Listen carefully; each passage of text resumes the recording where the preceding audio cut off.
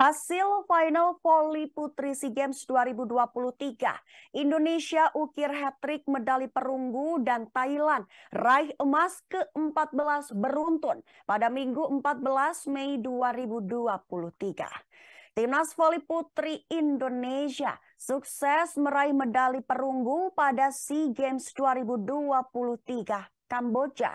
Kepastian tersebut diperoleh Wilda Nurfadila Sugandi CS setelah mengalahkan Filipina pada perebutan tempat ketiga kemarin sore.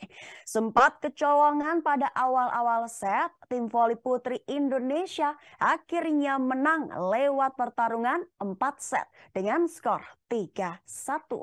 Sebagai catatan saja, ini menjadi hat-trick perunggu beruntun sepanjang partisipasi timnas voli putri Indonesia pada helatan SEA Games.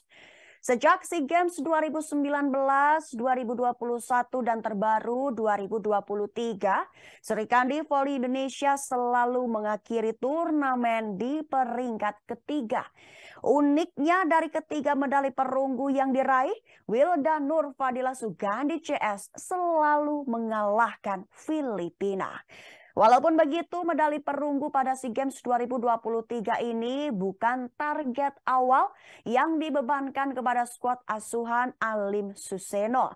Sejatinya, timnas voli putri Indonesia dipatok bisa meraih keping medali perak alias minimal menggapai laga final.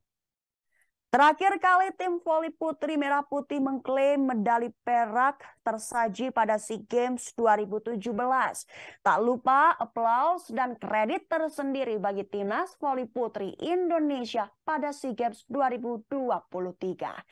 Perjuangan Ratri Wulandari CS yang memiliki persiapan mepet untuk SEA Games ke-32 ini membuahkan medali bagi Merah Putih. Di sisi lain, Olympic Complex Indoor Main Hall menjadi saksi dominasi timnas voli putri Thailand di SEA Games 2023 yang belum bisa terbendung. Pada laga final SEA Games 2023 Kamboja, Pimpik Kaya Kongkram dan kolega sukses mengalahkan Vietnam lewat kedudukan 3-1. Thailand mengawali set pertama dengan manis. Mereka sukses mengatasi perlawanan Vietnam dengan skor 25-17.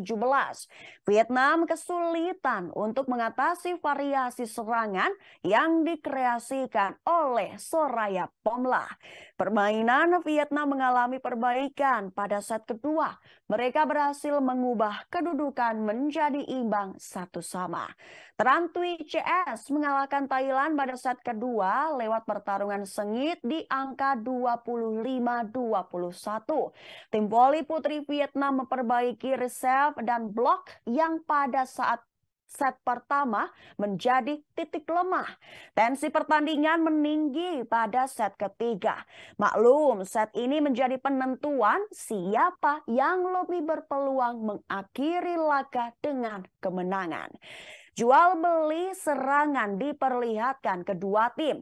Bahkan set ketiga diwarnai beberapa dush menunjukkan determinasi Thailand dan Vietnam untuk menyegel kemenangan di set ketiga. Thailand membuktikan mentalitasnya sebagai ratu bola voli ASEAN. Mereka merebut set ketiga di angka 32-30. Thailand berhasil keluar sebagai pemenang setelah menyegel skor 25-20 di set keempat. Dengan hasil ini Thailand kembali merajai cabang olahraga voli indoor putri.